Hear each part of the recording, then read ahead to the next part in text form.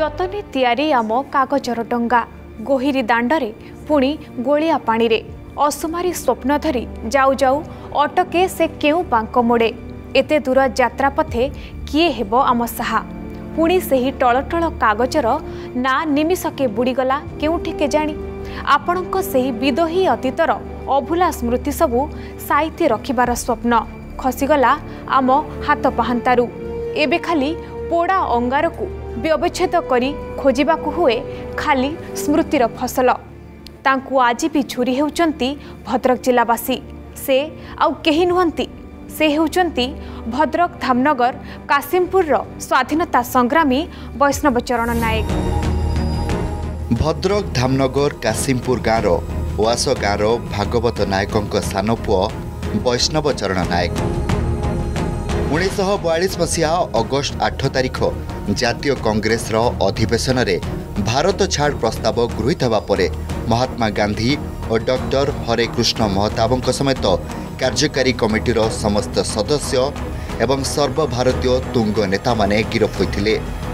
ମାତ୍ର ଆନ୍ଦୋଳନ ଥମିବା ପରିବର୍ତ୍ତେ ସାରା ଦେଶରେ ପୁରପଲ୍ଲୀକୁ ବ୍ୟାପିବାରେ ଲାଗିଥିଲା। ସେତେବେଳେ ବାଲେଶ୍ୱର ଜିଲ୍ଲାର ଭଦ୍ରକ ଅଞ୍ଚଳରେ ଆନ୍ଦୋଳନକୁ ସଂଗଠିତ କରିବାର ଦାୟିତ୍ୱ ଥିଲା ସଂଗ୍ରାମୀ ଶ୍ରୀଯୁକ୍ତ ରବୀନ୍ଦ୍ର ମୋହନ ଦାସଙ୍କ ଉପରେ। ତାଙ୍କର ନିର୍ଦ୍ଦେଶରେ ଭଣ୍ଡାରୀ ପୋଖରୀ ଅଞ୍ଚଳରେ ସଂଗ୍ରାମୀ ଦାୟିତ୍ୱ ବହନ କରିଥିଲେ ବୈଷ୍ଣବ ଚରଣ ନାୟକ। ବହୁତ ଲୁଚିକିନି କଷ୍ଟ ସହିକି ପଡ଼ିଥିଲା। କେତେବେଳେ ଧୋବା ଗଣ୍ଡରା ଧରିକି ଯାଇଥିଲେ କେତେବେଳେ ଗାଇଆଳ ବେଶରେ ଯାଇଥିଲେ। ଏମିତି ଏମିତି ସବୁ ତାଙ୍କ ପାଖରୁ ମୁଁ ଶୁଣିଥିଲି।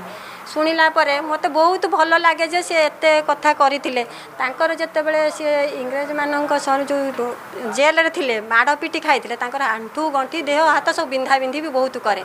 ସେ ଯେତେବେଳେ ଲାଷ୍ଟ ସମୟରେ ସେ ଏଇ ବିନ୍ଧା ବିନ୍ଧରେ ସେ ବି ବହୁତ କହନ୍ତି। ମୋତେ ବହୁତ ସମୟରେ ଡାକିକି ଦେବେ ମା ମା ତୁ ପଳେଇ ଚାଲ ପଳେଇ ଚାଲ ଏଠି ରହିବାନି ଆମେ ପଳେଇବା ହେଇ ଟ୍ରେନ୍ ଆସିଲାଣି ପଳେଇବା। ଏମିତି ଏମିତି ସେ କହନ୍ତି। ଲାଷ୍ଟ ସମୟ ପର୍ଯ୍ୟନ୍ତ ବି ସେ କହୁଥିଲେ। ଆଉ ସେଇଥିପାଇଁ ମୁଁ ବହୁତ ଗର୍ବିତ କିନ୍ତୁ ମୁଁ ଏତିକି ଜାଣିଲି ଯେତେବେଳେ ସେ ତାଙ୍କର ମୁଁ ଶୁଣିଥିଲି ଯେ ତାଙ୍କୁ ଜେଲ୍ ଫାଶୀ ଖୁଣ୍ଟରେ ସେ ଲଟକିବାକୁ ଯାଉଥିଲେ। ଲଟକି ଥିଲେ ବି କଳାପଟି ବନ୍ଧା ହୋଇଥିବା ସମୟରେ ବି ସେ ତାଙ୍କୁ ଜଜ୍ ସାହେବ କ'ଣ ପଚାରି ଦେଇଥିଲେ ତାଙ୍କ ବିଷୟରେ କି ତମେ କାହିଁକି ଆଉ କିଛି କହିବ କି ତମର ଶେଷ କଥା? ସିଏ ସେଇଠୁ କହିଥିଲେ ନା ମୁଁ ଦେଶ ପାଇଁ ମୋ ଜୀବନଟାକୁ ମୁଁ ଦେଇଦେବି। ବାପା ମୋ ପାଖରେ ଚଉଦ ପନ୍ଦର ବର୍ଷ ରହିଲା। ରହିଲା ପରେ ମୋ ମା' ଦିନେ କହିଲା କହିଲା ଦିଦିଟା ଭାଉଜ ଆସିଲେଣି? ଆଉ ତୁ ତୋ ବାପା କାହିଁକି ତୋ ପାଖରେ ରହିବ? ମୁଁ କହିନି ବାପା ମୋ ପାଖରେ ରହିଲେ କିଛି କ୍ଷତି ନାହିଁ। ମୋ ମୁଁ ତ କରୁଛି। ତାର ସବୁବେଳେ ପାଇଁ ଦେଖେଇବ କହିବ ଦେଖିନି ପାଖୁଆ।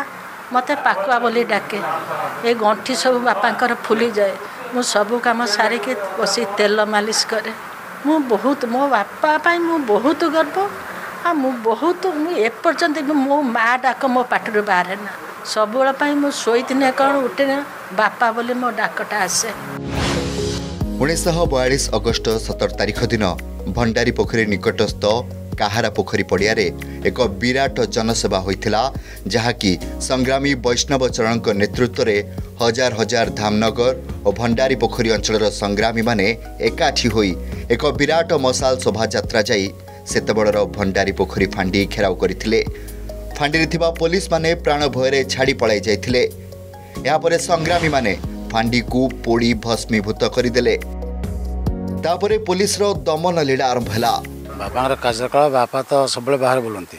ସିଏ ଘରୁ ଆସନ୍ତିନି ବହୁତ କମ୍ ଆସନ୍ତି ବୋଉ ଆମକୁ ପାଳନ କରେ। ସେତେବେଳେ ତ ବହୁତ ବାପା ତ ଜମା ପଇସା ପତ୍ର ଦିଅନ୍ତି ତାଙ୍କର କୁଆଡ଼େ ବୁଲନ୍ତି କ'ଣ ତାଙ୍କ ଠିକ୍ ଠିକଣା ନାହିଁ। କେତେବେଳେ ରାତିରେ ଆସନ୍ତି ଭୋରୁ ପଳାନ୍ତି ପୁଣି କେତେବେଳେ କେତେବେଳେ ଅଧଘଣ୍ଟା ଘଣ୍ଟେ ରହିଲେ ତାଙ୍କ ଚାଲିଲେ।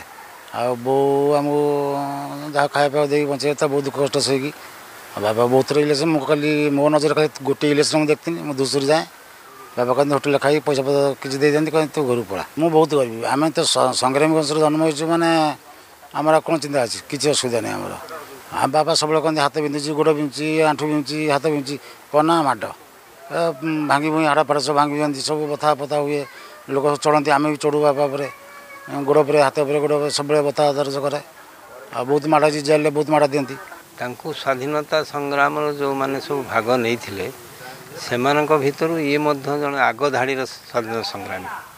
ଯେତେବେଳେ ତାଙ୍କୁ ଏକୋଇଶ ବର୍ଷ ହେଇଥିଲା ମାତ୍ର ଯେତେବେଳେ ଅନ୍ୟ ଯୁବକମାନେ ନିଜର ସୁନ୍ଦର ଭବିଷ୍ୟତ ପାଇଁ ଚିନ୍ତା କରୁଥିଲେ ସେତେବେଳେ ସେ ସ୍ୱାଧୀନତା ପାଇଁ ନିଜର ଜୀବନକୁ ବଳି ଦେଇଥିଲେ। ସବୁ ସୁଖକୁ ଛାଡ଼ି ଦେଇକରି ଭବିଷ୍ୟତ କଥା ଚିନ୍ତା ନ କରିକିରି ସିଏ ରେଭେନ୍ସା କଲେଜରେ ଆଡ଼ମିସନ୍ ହେଇଥିଲେ ବହୁତ କମ୍ ପିଲା ସେଠି ଆଡ଼ମିସନ୍ ହେଉଥିଲା ବା ପାଠ ପଢ଼ିବା ସୁଯୋଗ ପାଉଥିଲେ। ସେତେବେଳେ ସେ ପାଠ ପାଠ ପଢ଼ାରେ ଡୋରି ବାନ୍ଧି ଦେଇକରି ସେଇ ବୟସରେ ସିଏ ଆସିକରି ମୀରାବେନ୍ ହରେକୃଷ୍ଣ ମହତାବ ଏମାନଙ୍କ ପ୍ରେରଣାରେ ସେ ସ୍ୱାଧୀନ ସଂଗ୍ରାମ ନିଜକୁ ଝାସ ଦେଇଥିଲେ। ଏବଂ ଭଣ୍ଡାରୀ ପୋଖରୀ ଅଞ୍ଚଳରେ ସେ ସଂଗଠନ କରିବା ପାଇଁ କଂଗ୍ରେସର ସଂଗଠନ କରିବା ପାଇଁ ସେ ଦାୟିତ୍ୱ ନେଇଥିଲେ ଏବଂ ଭଲ ଭାବରେ ପିଲାମାନଙ୍କୁ ନେଇକି ସଂଗଠିତ କରିକିରି ସେ ନିଜର ମାତୃଭୂମି ପାଇଁ ଯାହା କର୍ତ୍ତବ୍ୟ ସେ ସମ୍ପାଦନ କରିଥିଲେ ଉଣେଇଶହ ବୟାଳିଶ ଅଗଷ୍ଟ ଏକୋଇଶ ତାରିଖରେ ବୈଷ୍ଣବ ଚରଣଙ୍କୁ ଗିରଫ କରେ ପୋଲିସ ପୋଲିସ ବନ୍ଦୀ କରି ଭଦ୍ରକ ଜେଲରେ ଦୁଇ ଦିନ ରହିବା ପରେ ତେଇଶ ତାରିଖ ଦିନ ବାଲେଶ୍ୱର ଜେଲକୁ ସ୍ଥାନାନ୍ତର କରିଦିଅନ୍ତି।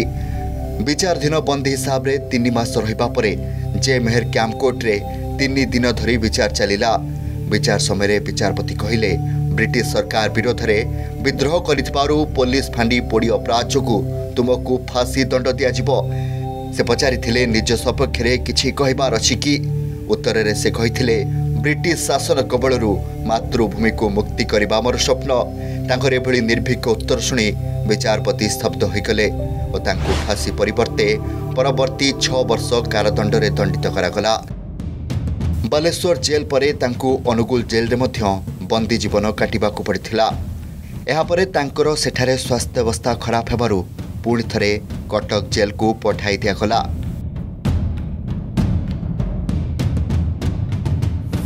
ଯେତେବେଳେ ଭାରତ ଛାଡ଼ ଆନ୍ଦୋଳନ ଡାକରା ଦିଆଗଲା।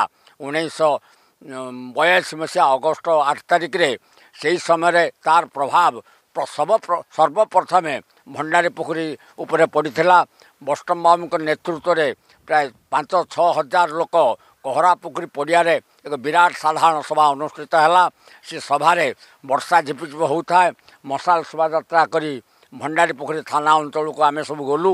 ଗଲା ପରେ ଅତର୍କିତ ଭାବରେ ଭାସ୍କର ଲେଙ୍କା ଏବଂ ଭାଗବତ ସାହୁ ଏ ଯୁବକମାନେ ଥାନାରେ ନିଆଁ ଲଗାଇଦେଲେ ଏକାଦଶୀ ବାରିକ ନାମର ଜଣେ ଯୁବକ ସେ ପୁଲିସକୁ ପିଟିଲା ପୁଲିସ ବାଲା ଥାନା ଛାଡ଼ିକି ପଳାଇଗଲେ ଏବଂ ଥାନାରେ ନିଆଁ ଲଗାଇ ଦିଆଗଲା ଗାନ୍ଧୀ କହିଥିଲେ ଇଂଲଣ୍ଡରେ ଭାରତବର୍ଷକୁ ଏବଂ ପରା ସ୍ୱାଧୀନତା ପାଇଁ ଆପଣ ଦାୟିତ୍ୱ ଦିଅନ୍ତୁ ସେ ମାନିନଥିଲେ ଚର୍ଚ୍ଚିଲ ମାନିନଥିଲେ କି ନା ସେ କଥା ହେଇପାରିବ ନାହିଁ। ସେଠୁ ସେ ଶେଷ ଡାକରା ଯାଇଥିଲେ ଉଣେଇଶହ ବୟାଳିଶ ମସିହା ଏବଂ ଆଠ ତାରିଖ ଦିନ।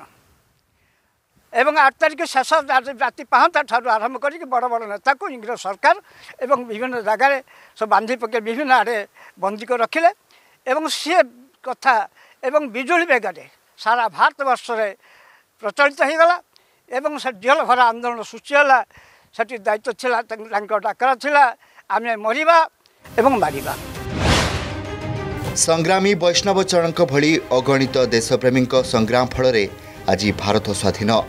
ଉଣେଇଶହ ଉଣେଇଶ ମସିହାରେ କାଶିମପୁର ଗାଁରେ ଜନ୍ମଗ୍ରହଣ କରିଥିବା ସଂଗ୍ରାମୀ ବୈଷ୍ଣବ ଚରଣ ପରିଣତ ବୟସରେ ଗତ ତେର ଦୁଇ ଦୁଇହଜାର ଆଠ ଅପରାହ୍ନରେ ମହାପ୍ରୟାଣ ଫଳରେ ଭଦ୍ରକ ଅଞ୍ଚଳରେ ଭାରତ ଛାଡ଼ ଆନ୍ଦୋଳନର ଜଣେ ଯୁଗାନ୍ତକାରୀ ସଂଗ୍ରାମୀ ଭଦ୍ରକ ଜିଲ୍ଲା ବାସିନ୍ଦାଙ୍କ ପାଖରୁ ତଥା ଆମ ଗହଣରୁ ଅପସରି ଗଲେ ସ୍ୱାଧୀନତା ସଂଗ୍ରାମୀ ବୈଷ୍ଣବ ଚରଣ ନାୟକଙ୍କ ଦେଶପ୍ରେମ ଓ ତ୍ୟାଗର ଯେଉଁ ଦୃଷ୍ଟାନ୍ତ ସେ ପ୍ରତିଷ୍ଠା କରିଯାଇଛନ୍ତି ତାହା ଆଜିର ଯୁବପିଢ଼ିମାନଙ୍କ ପାଇଁ ଆଦର୍ଶ।